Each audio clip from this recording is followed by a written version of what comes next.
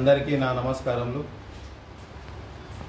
ఆర్మూర్ నియోజకవర్గ ప్రజలకి బీజేపీ నాయకులకి కార్యకర్తలకి నా శ్రేయోభిలాషులకి దేవి నవరాత్రి మరియు దసరా శుభాకాంక్షలు. భారత్ మాతాకి జై.